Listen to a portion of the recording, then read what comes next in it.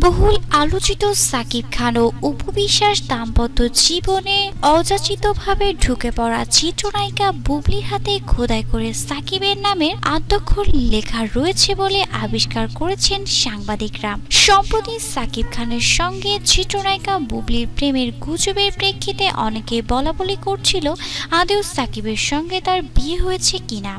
কিন্তু জানা গেছে সাকিবের সঙ্গে তার কোনো সম্পর্ক ছিল না।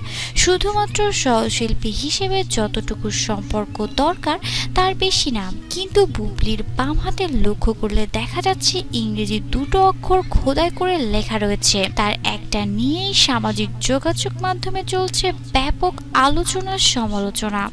অনেকে বলছেন, এখানে এস দিয়ে সাকিব খান আর বি দিয়ে বুবলির নামে বোঝানো হয়েছে। এখন প্রশ্ন হচ্ছে, হাতের লেখা অক্ষরে বুবলি কি বুঝিয়েছেন সেটা তিনিই জানেন।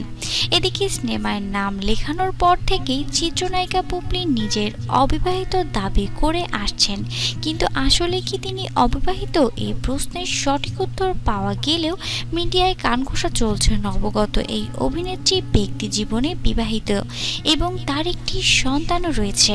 দর্শক, আপনার কি মনে হয়? আসলে কি বুবলি বিবাহিত? তার কি কোনো সন্তান রয়েছে? তার হাতের খোদাই করা লেখাটি সাকিব আর বুবলির জন্য এস বি লেখা আপনার মূল্যবান মতামত আমাদেরকে কমেন্টের মাধ্যমে জানিয়ে দিবেন।